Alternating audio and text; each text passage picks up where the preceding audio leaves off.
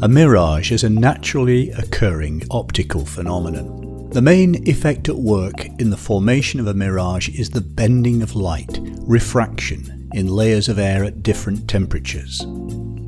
To understand how mirages occur, we need to be aware of some basic principles of optics.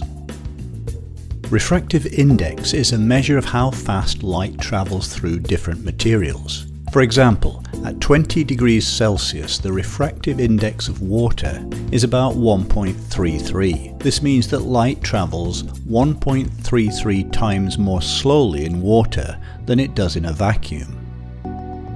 The refractive index also determines how much the path of a ray of light is bent or refracted when entering a different environment. If light passes from air into water, its path is bent away from its angle of incidence.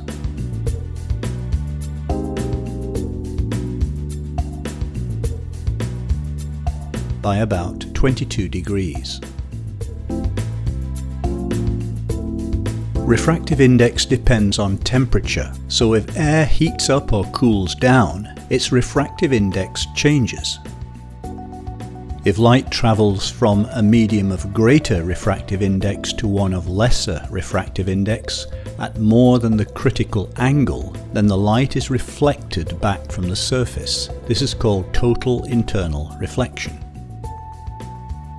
For example, if light travels from water to air at an angle greater than the critical angle for water to air, which is 46.8 degrees, it'll be reflected back into the water. Now we have all the information we need to understand how a mirage forms. In summer, the hottest layer of air is the one closest to the ground. As the hot air rises it cools, with the result that there are layers of air at different temperatures with different refractive indices.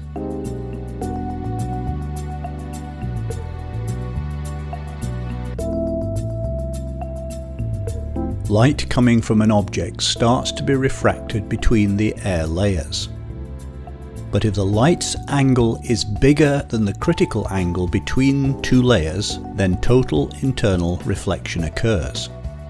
When this happens, even though there's no actual object in our field of vision, we can still see the object. Mirages commonly occur on roads in hot weather. We see vehicle reflections on the road as well as a reflection of the sky, making it seem as if there's water on the road. The kind of mirage that appears below a real object is known as an inferior mirage. Superior mirages, on the other hand, appear above the real object. These occur when the air below the line of sight is colder than the air above it. Superior mirages are quite common in polar regions. A so-called Fata Morgana is a kind of superior mirage. Although generally seen in polar regions, it may be observed almost anywhere.